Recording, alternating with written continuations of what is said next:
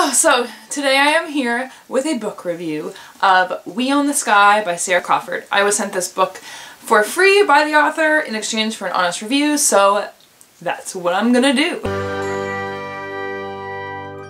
So I did enjoy this book.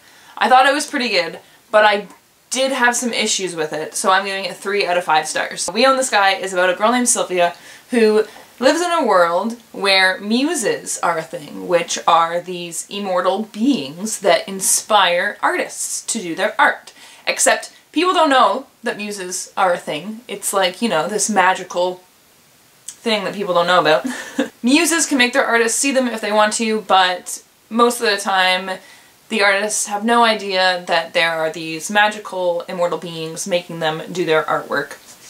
Except that Sylvia, all of her life, has been able to see muses, but up until the beginning of the story, hadn't known that that's what they were. They were just these weird flickering people who hung around and didn't say anything to her, and she was like, weird.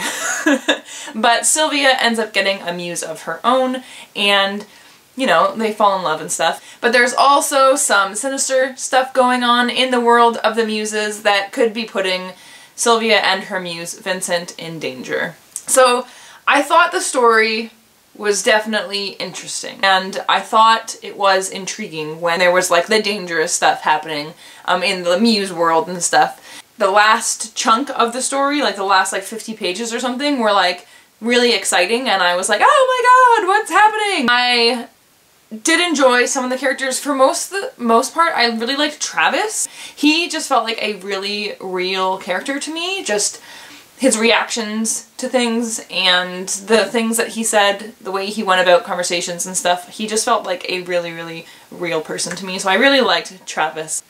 My, I guess my issues with the story were that there was a lot of telling instead of showing, um, which I feel like sometimes made the writing seem kind of choppy.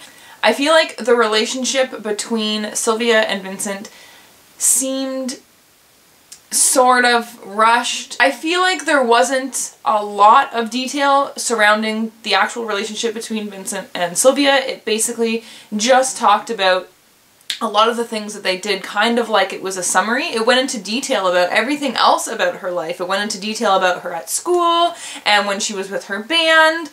But when it talked about her being with Vincent and how they had like this deep connection um, and what it felt like to be making music together and everything. I feel like it didn't go into it deep enough for it to feel really real to me, I guess. So I would have really loved to see more inside Sylvia's head during the times that they were creating music together because I understand like so they fall in love like fairly quickly, I guess, and one of the reasons why they fall in love is because of this connection that she has with her muse, because it's this amazing feeling whenever he's like helping you create music and stuff, because like she says that in the book, that it's like it's this amazing feeling, but that's all it says, is that it's this amazing feeling and it feels incredible, but it didn't go into like more of like how it made her feel and what it did inside of her. I feel like if it went deeper into what it actually felt like with more showing description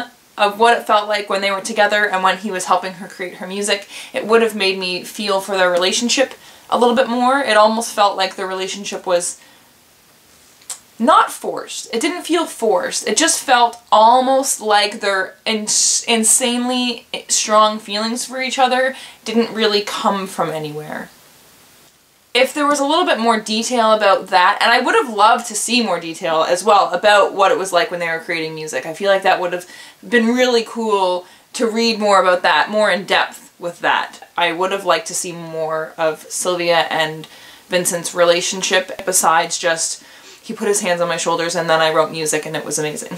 there was some good description and good showing and there were some really good parts where the writing flowed really nicely. I think I would read the second one. Um, I am interested to see where the story goes because I'm pretty sure it's going to be a trilogy so when she publishes the second book then I will, I'm gonna say probably like 90%. I'll probably pick it up.